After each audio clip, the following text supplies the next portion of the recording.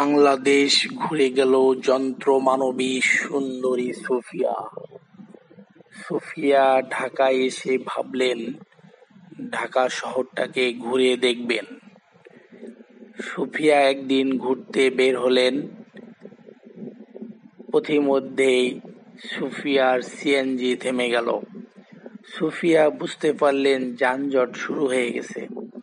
ভাবলেন, এভাবে বসে থাকলে আমার তো চার্জ শেষ হয়ে যাবে। তাই সুফিয়া পায়ে হেঁটেই চলা শুরু করলেন। সুফিয়া যেতে যেতে বখাটেদের খপ্পরে পড়লেন। কিছু বখাটে ছেলে সুফিয়াকে দেখে গিয়ে উঠলেন।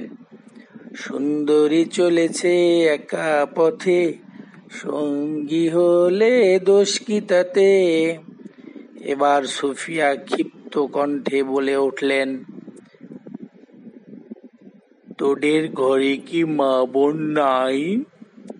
এবার বখাটেরা বললেন, আমাদের ঘরে মা বোন আছে, এমনকি গার্লফ্রেন্ডও আছে।